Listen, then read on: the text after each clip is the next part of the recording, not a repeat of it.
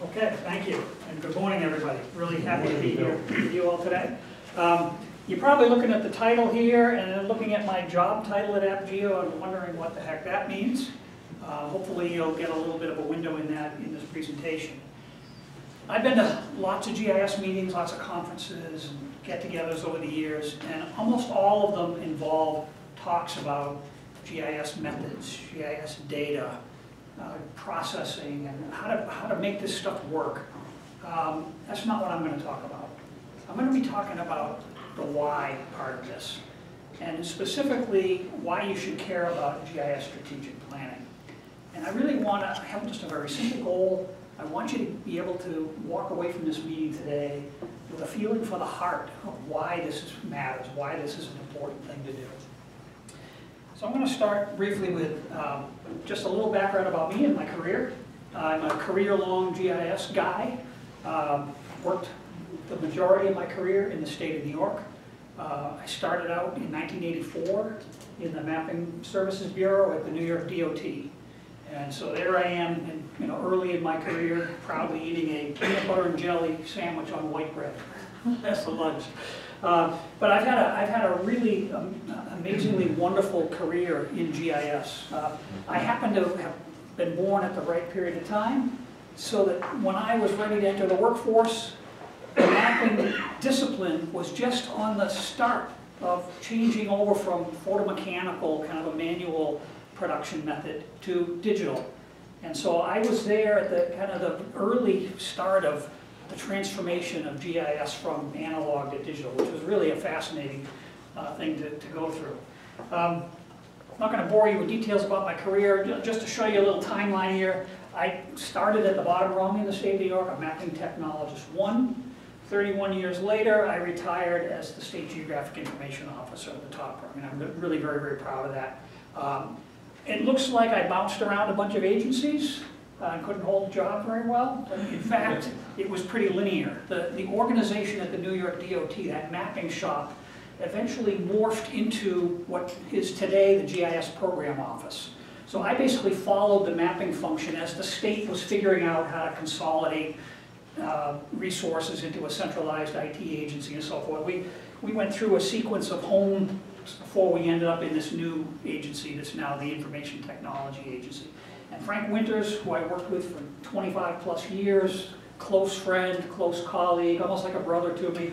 Uh, Frank uh, took over as GIO two years ago, almost three years ago now, after I retired from the state of New York. Since then, I went and I spent two years in Washington DC at a large not-for-profit as their GIS director, so I've got a little bit of exposure on the national scene. And then last April, I joined Applied Geographics, which is a group I've known for 30, 30 plus years. Uh, and, and so working there now. Uh, so that's, that's all I'm going to tell you about my GIS career. I just wanted you to have a, a little bit of a sense for what I've been through. And one of the things that I've, uh, you know, as you get a little older and you, you gain more and more experience, you start to look in the rearview mirror more. And you start to recognize some patterns. And I have recognized a pattern in my career, and I want to explain that to you.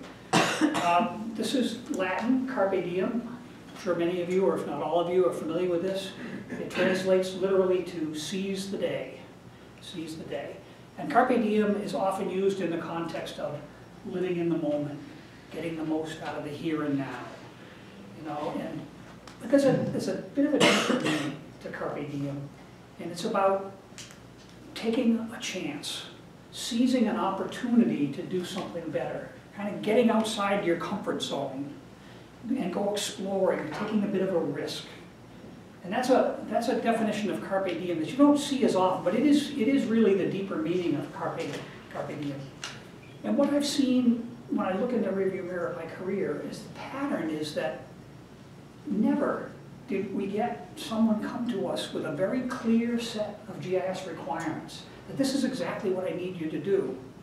That we could take those requirements and kind of translate it into a GIS workflow and execute. I mean, I wish that were the case, but that never happened. Instead, what would happen is people would come to our shop and say, I need a map. Can you give me a map of this? Or, hey, we're working on some reports. Uh, we want to include some maps in this report, and that starts a dialogue. Or, Bill, I hear you're the mapping guy. We have some mapping needs. And those innocuous little requests, when you dig a little deeper, they start a conversation and you start to ask some questions and some give and take. What you find is very often that conversation leads to something very different than what that little innocuous request might have been. And that gives you a chance to, to go explore, to try some things out. Maybe connect the dots on something you've seen earlier in your career, or try a technique that you've read about but haven't tried. And, and eventually, with some experimentation, you solve, the, you solve the problem. But you probably end up in a very different place than what was conceived of at the start of that. And that, I find that process fascinating. And in the world of GIS, I call that Carpe Geo. And Carpe Geo isn't about the methods of doing GIS. It's about a process. It's about an ethic, actually, about a willingness to, to go on a journey and solve these problems, not knowing where that journey is going to lead. And so Carpe Geo is about working to make government work better, solve problems in ways that you're not sure about, help people get a deeper understanding about the issue that they're exploring. Really, it's about making the world a better place. It's about seizing the opportunity to do great things with GIS. And when you do that, that's Carpe Geo. Now, I want to give you an example how this works. Um, this is an example that goes back to 2012, Superstorm Sandy. I'm sure virtually all of you were here in the city for that, is that true? Um, so what I'm going to show you is probably familiar territory, but it's my favorite little example, so you're going to have to indulge me as I walk through it one more time. But Superstorm Sandy, as you know, struck the city of New York right after Labor Day in 2012 and created that massive flooding in lower Manhattan, subway tunnels underwater, power substations knocked out, lower Manhattan out of power for a couple days. Disastrous event in the city's history. And the governor created uh, two commissions at, the end of that, or uh, shortly thereafter. And one of them was called the 2100 Commission, the NYS 2100 Commission. And that's the actually the cover page of the report and the web page that they stood up at the time. The 2100 Commission was tasked, well, it was staffed up with luminaries from academia, from engineering companies, you know, top experts in infrastructure that come together and they have a two-month timeline to make recommendations on the city's infrastructure with the thinking that over the next 100 years, kind of between 2012 and 2100, virtually every piece of infrastructure is either going to be replaced or have major uh, repair and rehab worked on it.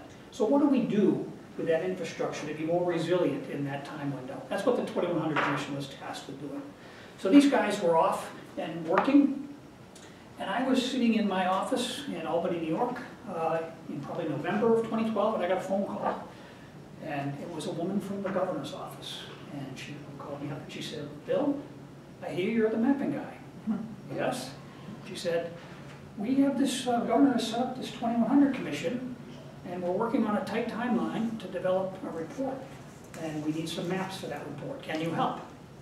Now, I don't know about you, but when I get a call from the governor's office, I'm always going to answer yes to those kinds of requests. So of course I told her yes. And in the course of digging a little deeper with her, asking her a little bit more about the maps she needed, it quickly became clear that she didn't know exactly what maps the commission needed for her report. And so this was one of those Carpe Geo opportunities. And so what I understood was they were looking for maps to help understand what had happened with the flooding and what its impact had been on infrastructure. And that was the sum total of really what she was able to articulate to us about these maps she needed. So Frank and I and others on the team back in Albany started batting ideas around. And one of the things I had seen much earlier in my career was when the state first started dabbling in digital ortho imagery. We had a guy in our coastal program who had taken the very first batch of orthos that I, I think I ever encountered in my career uh, for the south shore of Long Island, those barrier islands on the south shore of Long Island. And he had taken also scans of maps from the 1890s, and he overlaid those scans with the orthophotos.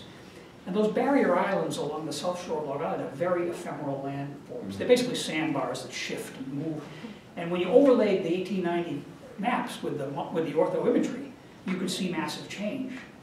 And I, that had stuck in the back of my mind, and so when we were talk, uh, thinking about what to do for the 2100 Commission, I thought, hey, maybe we should see if there's been much shoreline change in lower Manhattan.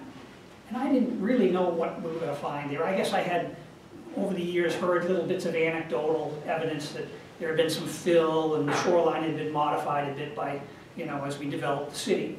But I didn't know much more than that. So I started making some phone calls uh, so we could chase down the data to do a, a time sequence analysis. And to do that, you need current shoreline, you need an original shoreline, and then you need some times, you know, what did the shoreline look at different slices of time?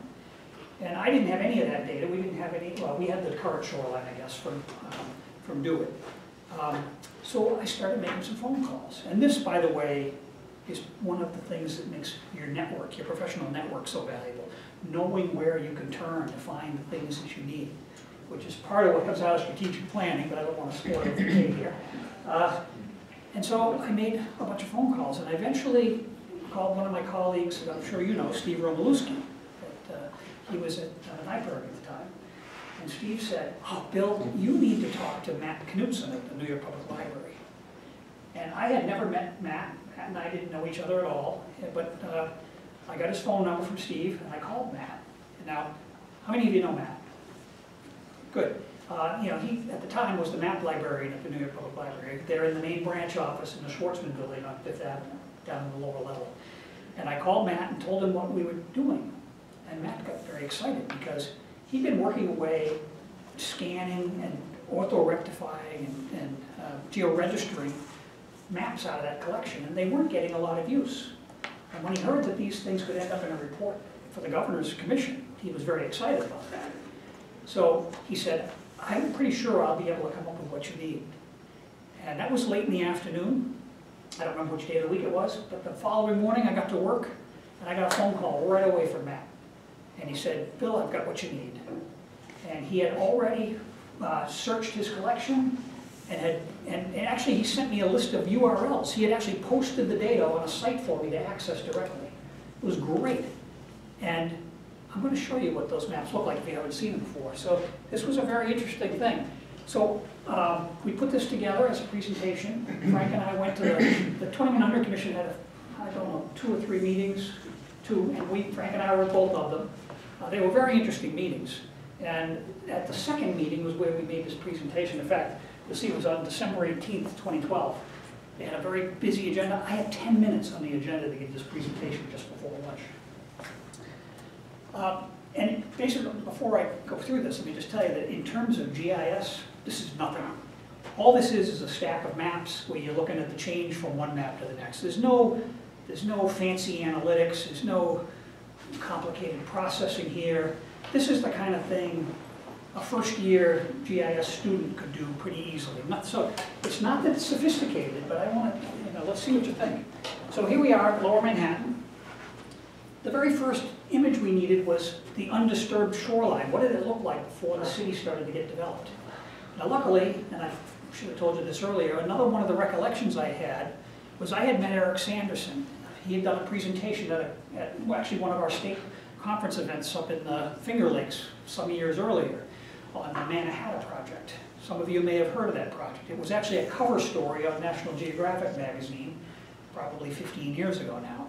But what they, I mean, the premise of the Mannahatta Project is the island of Manhattan is one of the most altered landscapes on the planet. And so, you know, uh, Eric was with the Wildlife Conservation Society, I believe he still is with the Wildlife Conservation Society, here he's based in the city. They run the Bronx Zoo, by the way. Uh, And he was looking at the changes in kind of the natural landscape, but it worked very well here. So Eric had created this digital representation of the undisturbed lower Manhattan shore, actually the whole island. So we, we were able to get that. And then the first map in the collection that Matt gave us was from 1660, when there was a very tiny little Dutch settlement, basically a fortress at the southern tip of, of the island.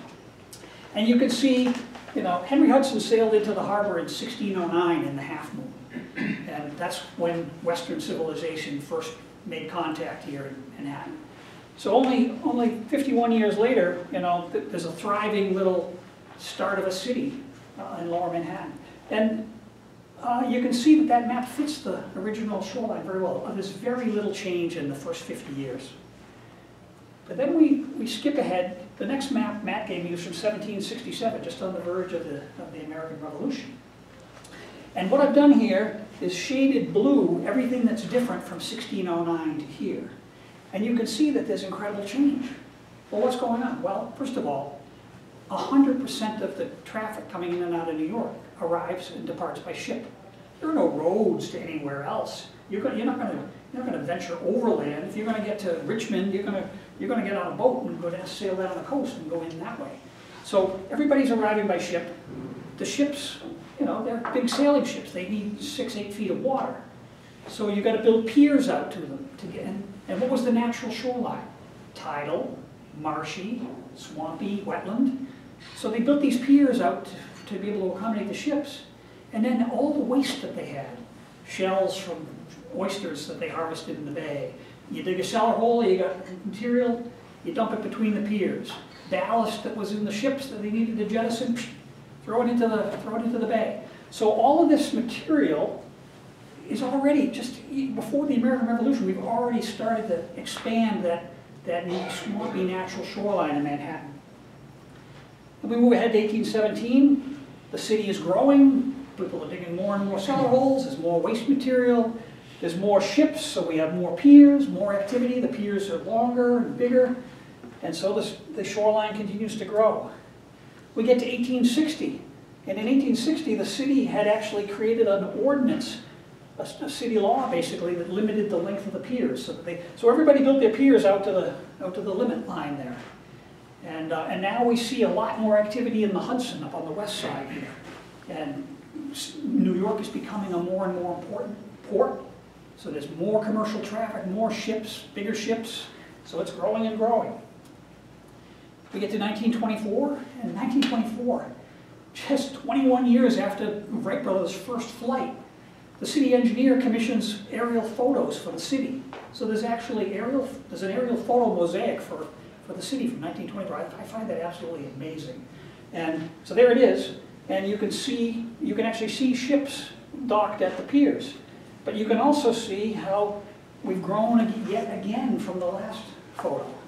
And finally, we get to current uh, ortho imagery, and you can see that over those 400 years, the width of lower Manhattan is pretty much tripled based on all the, all the growth and this reclaimed landfill land. And um, here's what makes it really interesting. When you overlay the storm surge from Superstorm Sandy, which is yellow on here, you see that it fits almost perfectly the man-made reclaimed land, except for a few areas that were marshy and shallow all along. And when we showed this to the 2100 Commission, this had a very profound effect on, on what happened here. I want to talk about that for a minute because that was an amazing experience for me, and Frank was there too. I gave that presentation just before lunch. They broke for lunch. During lunch, a whole bunch of the commissioners serving on that group uh, came over and talked to Frank or I to tell us how amazed they were with that and how it changed their thinking about what was going on here. And then when the group reconvened after lunch, the policy discussion had taken a clear pivot. And speaker after speaker in their remarks referenced the material we had shown them. And to me, that was one of the most potent moments in my career, to see that the work we had done with GIS had changed a policy, a very important policy discussion. And I think that is the highest level of achievement in GIS. Don't you all want to be in a spot where your work can uncover the truth, can enlighten the policymaker on the dimensions, on the underlying cause and effect of some issue that they're trying to explore? I think that's where we all want to be with GIS. And so the question now is, what do you do to increase the chances that you can be in that position? Because believe me, if you've been in a position like that, that Frank and I have experienced, you want it again.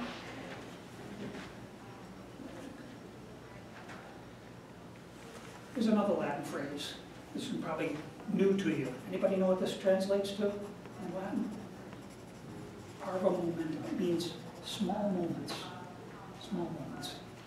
I put that on there because several times in my career, I've experienced something that happened. And in that moment, it gave me a realization of how important the work that we were doing was. And, and in that realization, it reaffirms your sense of purpose and kind of revitalizes you, it keeps you going. I'm going to give you two examples of that. The first one um, is a bit of an older example, probably 20 years ago. In the early days of when the state of New York was finally getting organized around statewide GIS, it was kind of, uh, if you looked at my career timeline, it was probably in the first, about a third of the way through that. And we had, a, we had the nucleus of a state office set up, and we were working on a bunch of initiatives. We stood up a state GIS clearinghouse where we could post data. We were working on a standardized street centerline file, which required, we had three different state agencies that were all working on street centerline files and were competing about that. And we, we were able to coalesce those and get agreement to maintain one under a set of good rules. And we had set up something called a, a data sharing cooperative to try to encourage local governments to make their parcel data available. And we had started an orthoimagery program to, you know, to fly the state and make the imagery available so everybody had a common base map to tie their GIS data to, which is kind of the, the foundational level stuff to, for our state office to be doing. So we were doing all this work. It was a very busy time. Um, and the, the work was consuming us. I think we were excited about what we were doing. But I can tell you that personally, I didn't, I wasn't able to attach great meaning to it because I wasn't sure how people were using this information. Well, that changed for me one afternoon. I live in the town of Gilder, New York, and I, uh, at the time, took our, my, my, my two oldest daughters at the time were in elementary school, and we stopped at the library once a week. They would turn in the books that they had checked out last week, pick out some new ones, and I had a few minutes to kill. So we were at the library on our weekly run, and on the side of the library, there's a, there's a couple of community rooms. And in one of the community rooms, I saw on the wall, that hadn't been there the week prior, there were a whole series of maps hanging up on the wall. And I thought, oh, geez, I'm a cartographer, let me go see what these maps are. Well, unbeknownst to me, the town planner had started posting materials for a new draft master plan for the town.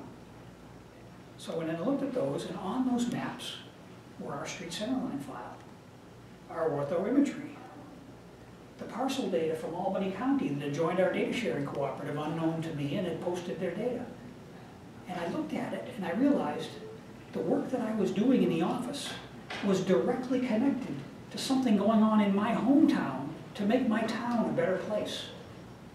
And that was a very powerful moment for me. I stood there and I could feel my heart beating in my chest and I, it stopped me cold.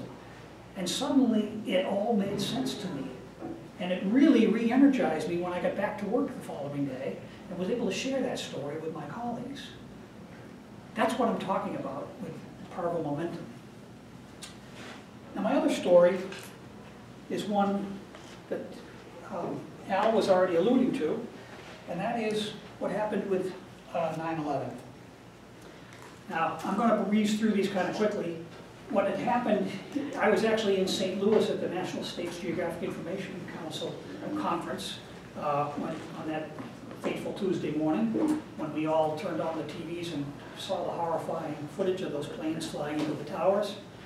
And a couple of us uh, finally found a rental car and we drove 28 hours straight to get back to the Northeast, get back to Albany, and then we immediately talked to Al to see what he needed.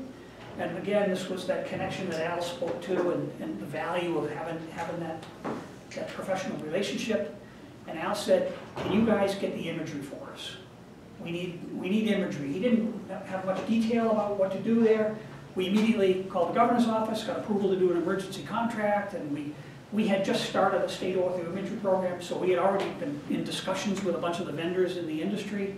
And we, within 24 hours, we had uh, Earth data mobilized their crews and their gear, and were in Albany with an aircraft with a van, with, with workstations set up to, to- and, we were able to start the next day on an imagery program. And what we did was, um, we collected digital ortho imagery, so we- these were flights taken from Albany, were- it's about an hour by air to come down. They were taking uh, a a morning flight just at daybreak, to- when the searchlights were turned off, but there was enough daylight to catch thermal imagery, because you wanted the thermal imagery be captured when there's not the heat from the searchlights and there's not the heat from the sun on objects. Then they would come back the middle of the day and do LiDAR and ortho imagery. And so let me just show you a few quick examples. So these were daily flight missions, so there's a zoom in on the orthos. It was half-foot resolution ortho imagery. LiDAR data, the LiDAR wasn't collected every day, but we did it a couple times a week. And they were able to do the calculations to see, you know, how much volume of materials was yet to be removed and those kinds of things. And then this is a pretty interesting visualization. You can see and calculate the, the volumes of lost, you know, what had been lost in those buildings. Um, Thermal imagery, uh, if you remember from the incident, there were fires burning deep in the rubble pile. There were buried propane tanks that were a source of fuel for that. And so knowing where the hot spots were was very important to the safety of the people working on the site. And this is, uh, I have a couple shots here. This is the- actually the thermal camera that was used. This is a, this is the port in the hold in the belly of this, this aircraft you're gonna see in the next picture. That thermal camera was actually a handheld camera used to walk through buildings to take, you know, we could see where heat was leaking out of buildings. It wasn't even a digital camera, it was an analog camera. And it was connected to a, to a, uh, a VCR, uh, video cassette deck in the aircraft to record the imagery.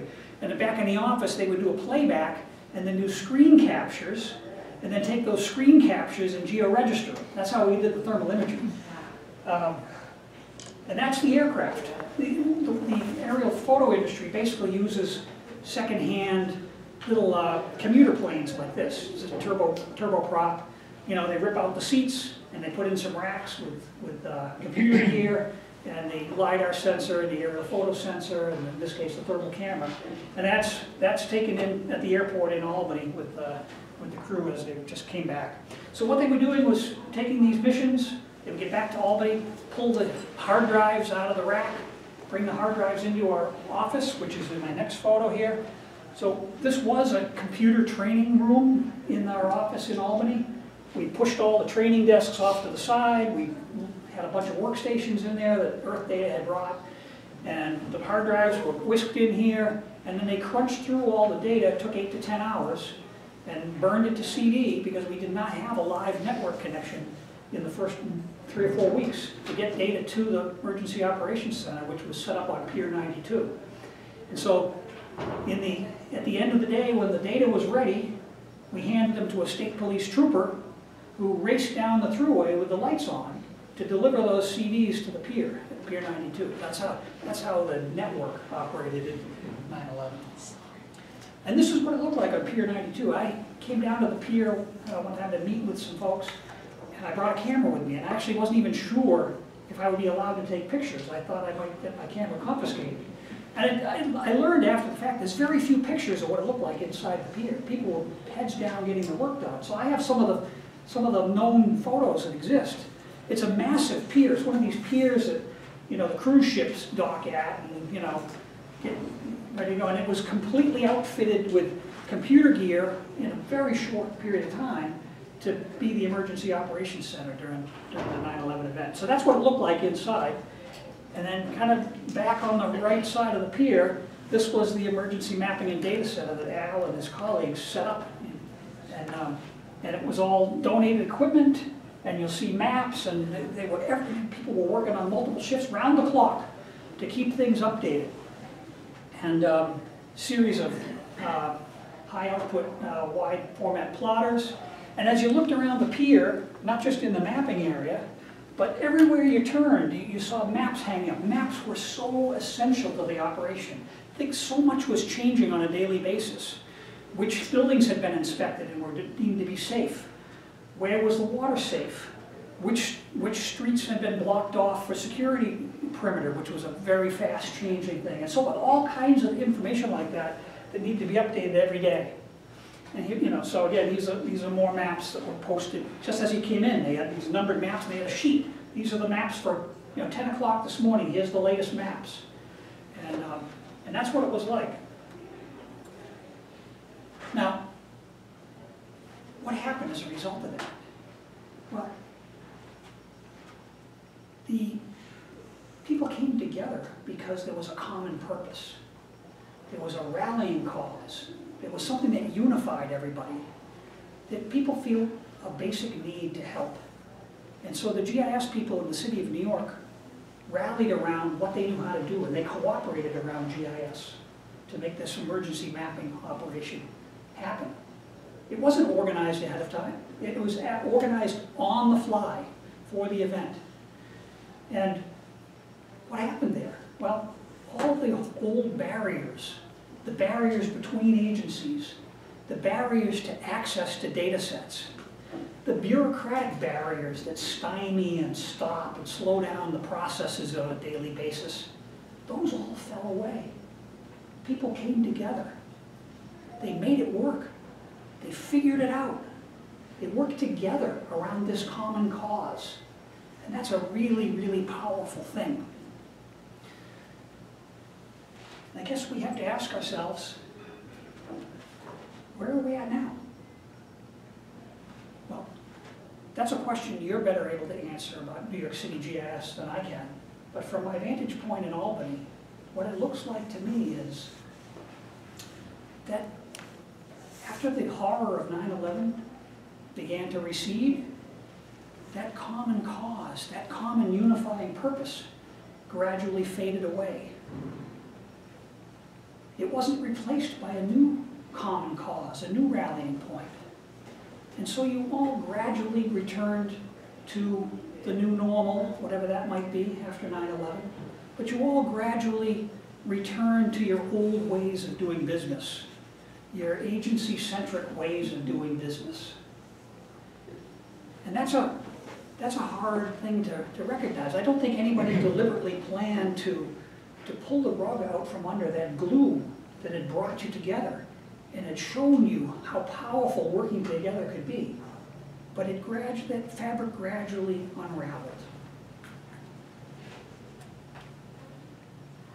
What if? So thinking about today, I think it's fair to ask, what is it that we want? What is it that we can im- imagine and envision about where the city of New York could be with GIS? What future do we want for GIS? What if all the data you want was easy to find and you could know its characteristics? You could know who's maintaining it and the fact that it is being maintained. And you could have an easy way to connect to it.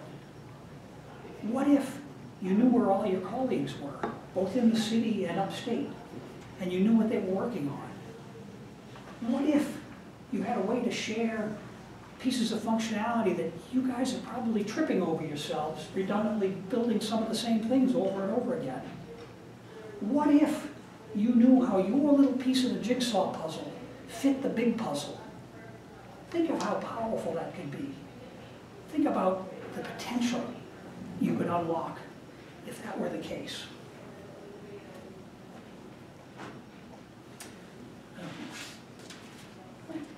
Apologies here. Yeah, so that power of working together is what strategic planning is all about unleashing. So I want to tell you a little story about power. Now, in the job I took in Washington DC, a place called the Universal Service Administrative Company after I retired from the state, I was the GIS director there. They had no GIS. This was an organization running a nationwide broadband program to expand broadband across the US for the FCC. It's a $10 billion annual program distributing money into every little corner of the United States. Can you imagine they weren't using GIS? So getting there, I mean, talk about low-hanging fruit. There was low-hanging fruit all over the ground uh, there. And so I started trying to uh, go around. We had four operating divisions at USAC, and I was trying to understand how GIS could help them by learning their business requirements. But what I discovered very quickly is nobody there could tell me what they wanted GIS to do for them. It's very hard to envision something that you've not been exposed to. So I embarked on a quick little proof of concept project, I actually had AppGeo help it, the company that I'm with now. And we gathered up samples of real data from each of the four divisions, and we worked up real examples of all the different ways that GIS could be helping USAC. And we did this in a, a really short timeline, like eight weeks or something like that. Kate probably still has bruises from, from that. And, uh, and that culminated in a, in a demonstration to the board of directors of the company. They had their quarterly board meeting, and that was what drove the tight timeline. I wanted to be able to put it in front of the board. And I gave that presentation in July of 2016. And I was standing up, going through these examples for them. And one of the board members held up his hand and he stopped me and he said, Bill, you are unleashing something incredibly powerful. You're like Oppenheimer. he was referring, of course, to Robert Oppenheimer, lead scientist in the Manhattan Project that developed the atomic bomb during World War II. And I'll have to say, that is the first time I've heard GIS equated to nuclear weapons.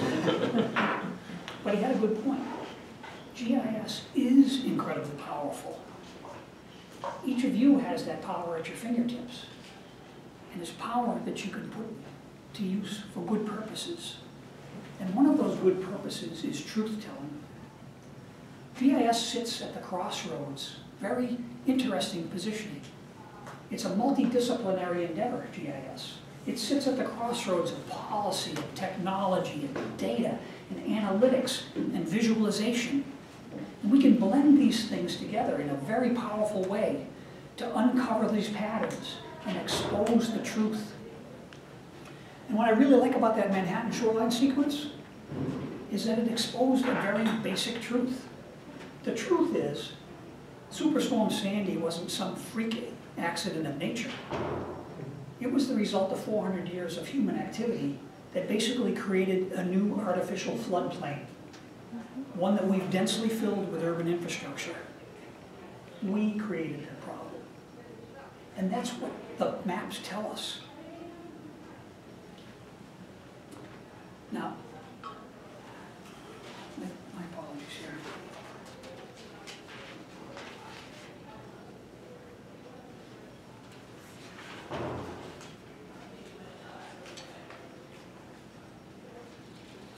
I actually got a little out of, I got a little out of order here on my, on my notes that I wrote last night, so I gotta pause for just a moment here.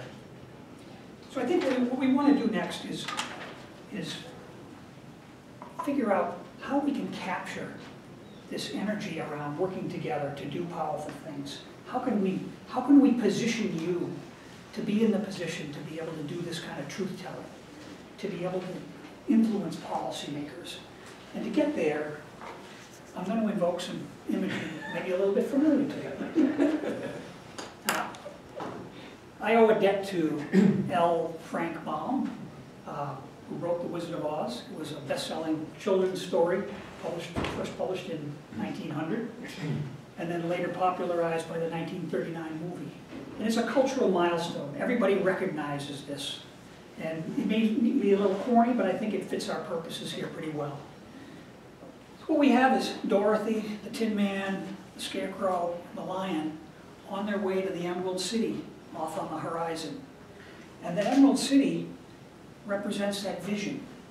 It's the place they want to be, where when they get there, some problems will be solved. There'll be a better, there'll be a better, brighter future when they get to the Emerald City. It's the incarnation of that united purpose, that common cause. It's the thing that they, they are willing to put in the effort to go and, go and reach. That's the vision piece that's so important. And that yellow brick road, that's the path between where we are today and where we want to be. It lays out the steps that we need to take, the things that we need to do together so that we don't get lost, we don't get misdirected, but it will take us to that place that we envision for that bright future. And who are the lion, the scarecrow, the tin man, and Dorothy? Well, they're your stakeholders. And look how different they are. They're very different. They come from different backgrounds. They have different needs. They're each seeking something different when they get to the Emerald City. But it's the common cause. It's that, that rallying around the vision and having a clear way to get there that's uniting them in one mission, one journey together. Without that, they'd be off doing their own things. They'd be taking separate paths and not harnessing that power of working together. And one other ingredient here that's worth talking about is that there's a leader in this journey. It's Dorothy. She's the one that is able to convince them about the bright future that awaits them in the Emerald City and convinces them to join her on that journey. So I'm going to talk a little bit more about the role of a GIS leader because I think it's what's one of the things that's needed is for you guys to think of yourselves as latter-day Dorothys that need to unite around getting to a, an Emerald City. I'm going to talk about these skills, these leadership skills around how you do that. Um, I'm using a familiar analogy here. Think about your GIS career as GIS. On the bottom of the stack here, you got your base layers, base map. These are things like your knowledge about the fundamentals of GIS, and your ability to write and communicate and organize and perform, the, basically perform the functions of GIS in a modern kind of way. And then these, these thematic layers, these overlays that sit on top of that base map, are things like your approach to solving problems, your ability to read the tea leaves and know what's going on, your ability to get people to work with you and join you. And we're going to talk about these through three different lenses. I've given a presentation previously where I talked about these as, as these lenses as models, and I, I gave them kind of faux scientific names so they would look scholarly, but they're, they're really just figments of my imagination looking at, my, looking, looking at things in the rearview mirror. So the first of these ways of thinking about this leadership skill set, in other words, how you can be the modern day Dorothy, is the, the GIO time allocation model. Now, all of you make decisions on a daily basis about how you spend your time. Whether you make those decisions deliberately or just out of habit, you're still making them. And so the first thing is to think about how are you spending your time. And when I started out as the state GIO in New York, that was in May of 2013, May 14th to be exact. Not that that date is significant to me in any way, shape, or form. Um, but uh, I decided I wanted to get some grounding, and I interviewed the eight, what I considered at that time, the eight top state GIOs around the country. And you can see their names and which states they were with. One of them was uh, Mike Byrne, who was originally the uh, California CIO and had gone on to the FCC, and I knew him. So those are the eight people I interviewed. And I asked him a series of questions, and then I, I sifted through the data, and I, I summarized it this way. And what was very interesting to me is that the people skills, the things around consensus building and communication and getting buy-in and leadership, that was the bulk of what made people successful in this role. And that was a very important thing for me to understand, it wasn't about me being technically savvy, it was about having that leadership skill set, those people skills. Because if you're going to, if you're going to lead an endeavor, you have to be able to convince others that there's a vision out there that's worth joining you on, that they're willing to commit their time and effort and energy to join the parade. And that's the, that's the key takeaway from this. I will point out two other things that are kind of interesting from, from this. One is that the technology pieces of this, which are the ones in red, um, only amount to about 25% of the pie. In my experience, people in the GIS world spend the preponderance of their time talking about the technical issues, when in fact, those are, those are not necessarily the most important things. One of the, one of the things I remember, two of the eight people I interviewed told me that they viewed the technology as something that they found attractive, but they knew it was taking their time away from more important things, but they couldn't help themselves. I thought that was really, really interesting. And the other thing that I found interesting was that policy, which is, policy is really the rule book around how everybody engages. How do you all work together? on an enterprise basis. You really need that rule book. Um, and almost almost everybody recognized that they weren't spending enough time on policy, even though they knew it was important. And I thought that was really interesting too. So,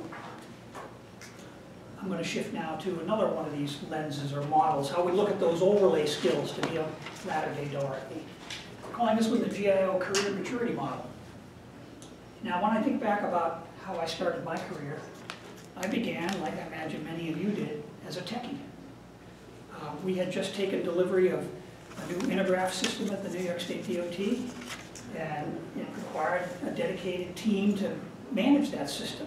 Write user commands, train users, do the, file and uh, access and management, scripting, a whole bunch of things. It was 100% technical work. And frankly, I loved it and was pretty good at it. I was excited about doing the work. I was thinking about the work when I wasn't at the office. I was eager to get in in the morning and get back at it. It was an exciting time. And in due course, I was rewarded with a promotion. And that promotion meant that I had to do less of that technical work that I love so much and had to do some new things that frankly I wasn't as interested in doing. Because along with that promotion, I was now responsible for overseeing some other technicians who were running the system.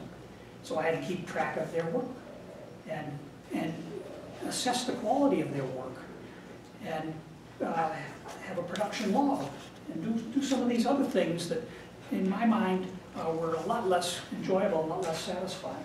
But of course, in due time, I put on my big boy pants and and adjusted to it. And each step up required that I shift. And I shifted more and more away from those technical activities. And it gradually became more about things like motivating people, understanding the big picture outside of your direct workflow, doing things and taking initiative before the boss asks for it. These are the things you grow into. And in order to have the space to grow into them, you have to shed some of those other things. And that's what the GIO career maturity model is all about. Some people plateau because they are unable or unwilling to give themselves the space to grow up into that next level of, of things that they have to do because they're too attached to some of those early career skills that they don't want to let go of. And, you know, when I think about my own career, I think about, even though it's all been GIS, and it's all been in the context of the same body of work, the nature of the work that I grew into as a GIS leader was very different than the work I started my career doing, which was hands-on technical work. And if you think about your own career, and you think about what it takes to become a GIS leader, you might realize that you need to carve out some more space for yourself to grow into those functions and maybe shed some of those earlier things so that you can morph from a GIS chrysalis into a GIO butterfly. And my third model is the uh, half-life model. Now, you remember high school chemistry? You probably learned about half-life in the context of radioactive isotopes. Am I bringing back painful memories of high school chemistry? Well, half-life is a, is a nice concept here because it's, it's um, basically the time it takes for something to decrease by half. So if we're thinking about the value, the lasting value of things in GIS, I, I like half-life as, a, as just a concept. Now, you can't see this very well, but this little graph here is a graph from Moore's Law. You've probably all heard of Moore's Law. Moore's Law actually is about the density of transistors on a, on a chip. Uh, people have shorthanded it to the speed of computer chips doubles every two years, which is really an outcome of doubling the density of, of uh, transistors on the chip. But uh, Moore's Law has been very good. Over a 40-year period, it's been a very solid predictor about the change in the, um, in the capacity and speed of electronic devices. And it also, you can flip it around to, to realize that it also predicts how quickly electronics become obsolete and how quickly electronics reduce in size and how quickly electronics reduce in price. So it's a kind of a cool model. I really like Moore's Law. But if we think about the things that we do in GIS, and you think about how Moore's Law might apply to it, the technology we use in GIS of all the things we do, has the least half-life. It becomes obsolete the most quickly. But think about these other elements, data and partnerships and policy and training. Those have much longer half-lives. Now, I started my career at the New York DOT. When I got there in 1984, they had already built these data systems from the 1960s for traffic accidents, highway pavement condition, maintenance records, and so on. And those data systems, what we did in those early days with GIS is figure out how to connect them to the map using something called linear referencing. Now, I don't want to bore you with technology here, but basically it's the Velcro between the way data is represented in those highway databases and GIS. And 25 years later, they're still using those same data systems. Yeah, the software is, is, is newer, and the databases are newer, but somebody time traveling from today back to, even back to the 1960s would recognize that data. That data has, is, is what runs the New York DOT and every other DOT. So very powerful reminder to me of the lasting value of data. Partnerships, you know, uh, Frank and I, we working in our office, started an ortho imagery program in 2001. And the core of that program was the state was going to buy some base level products and then allow counties to pay for some upgrades. They could get higher resolution, they could get additional products, they could get color infrared and some other things as, as little buy-up options for just the delta cost. That model was a hit from day one. Here we are 18 years later, and that same partnership is still humming along just like the day we laid it out. And I, unless some dramatic change occurs, I, I see it continuing well into the future. Policies, if they're well crafted, are independent of technology. So you're not writing policies that talk about using version X of software Y. They're talking about the workflow and the obligations attached to that workflow, independent of policy. And those, when they're well done, last can last indefinitely. You know, in government, policies, once you put them in place, can almost, they almost self-perpetuate and, and continue into the future. In some cases in a bad way, but uh, I, and finally, the investment you, the investments you make in your team. You invest in your team to get them around solid workflows. Those become the building blocks for the data that you build and the systems that you build. And so that, that investment in people has lasting value too, because you can get a whole career's worth of high quality work out of someone that you've invested in at the early point in their career. So the point of this is to realize that you should spend your time on the things that have the most lasting value. And that's usually going to translate into these things and less on the technology. Now, I'm not anti-technology. I don't want you to misinterpret my remarks here. I like to use a hiking analogy. And I think of what you do here as a hiking trip. Are you going to convince anybody to join you on your hiking trip by talking about your hiking boots?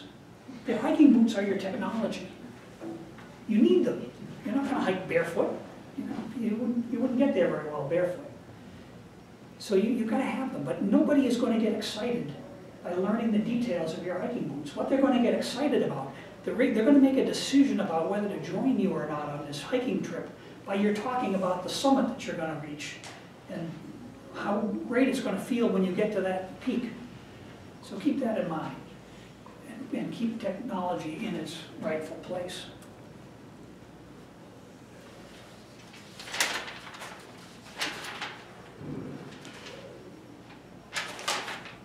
Pardon me for just a moment. So we- we've gone through the ingredients that you need. We've talked about the components, the vision component, the stakeholders, the strategic plan that gives you your journey there. Those are the ingredients. We've talked about the leadership skills that are going to help you get there. And so now the question is, what are you going to do about it? That's a question that you're going to have to answer. It may not feel like you're at a fork in the road, but you are. Down one path is the status quo, which is what you have going on now. Down the other fork is the Emerald City. However you want to define that Emerald City. Think about the power that you could unleash if you were all working together. This is City we're talking about. We aren't talking about Topeka. Not that there's anything wrong with Topeka, but Toto, we're not in Kansas anymore. This is one of the most important cities in the world. This is a place that has a density of talent and resources and potential unrivaled anywhere. Are you going to put that potential together and define together what you could do? Think about that. Think about how you could show the world how to achieve greatness with GIS. Seize that opportunity, New York. Carpe Geo. Thank you.